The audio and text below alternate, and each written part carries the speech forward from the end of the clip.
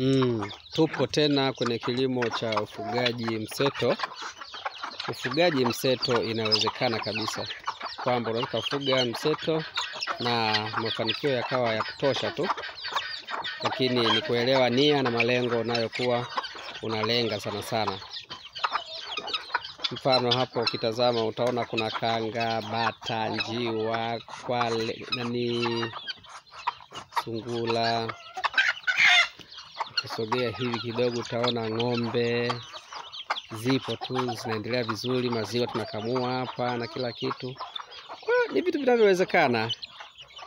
Endelea kufuatana nami, tuendelee kujifunza juu ya ufugaji mseto wa kuku wa kienyeji, ambao hapo unaweza ukajifunza ni namna gani ambavyo unaweza ukaboresha na kuhakikisha kwamba unapata kuku wengi kwa muda mfupi, hususan wanapokuwa wanataga majike na na kuweza kuwataamisha mayai, lakini pia ni namna gani ambavyo unaweza ukatengeneza njia zaidi kwa ajili ya kupata hao kuku walio wengi zaidi, hata kanga.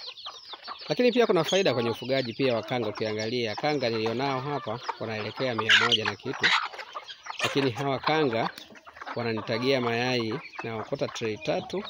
Trei yangu naiuza kwa shilingi elfu saba shilingi elfu saba kwa trei tatu napata elfu ishirini na moja nikizidisha mara mwezi mzima huwa napata laki sita na elfu thelathini kitu ambacho eh, mboga ya nyumbani haikosi wakati kanga wangu bado wapo, na baadaye naamua kuwauza tu wote sasa kwa bei ya jumla, ambapo naendelea kupata, na ninalenga mwaka huu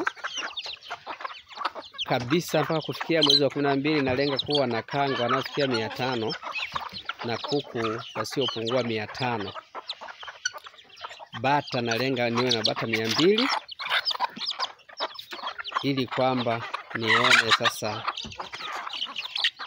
zaidi. Nahitaji mafanikio na nahitaji kufika zaidi ya hapo. Nalenga kuwa na mifugo maelfu. Si hilo tu, bado pembeni sana, ukichungulia kwa kule utaona kuna bwawa la samaki.